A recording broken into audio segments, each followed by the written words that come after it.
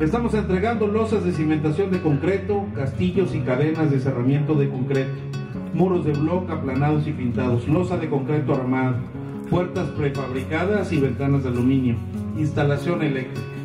Hoy ustedes son testigos de que esta acción es una realidad, ya que con una aportación de 4.100 pesos que cada beneficiario realiza, ahora tienen la reconstrucción de una recámara de un costo total de 61.471 pesos, siendo el ayuntamiento quien absorbe la diferencia de más de 57 mil pesos.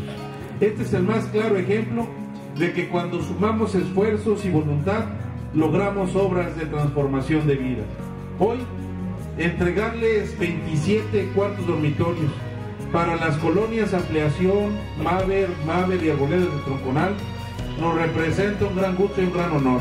Estamos el día de hoy entregando en acciones más de 1.640.000 pesos.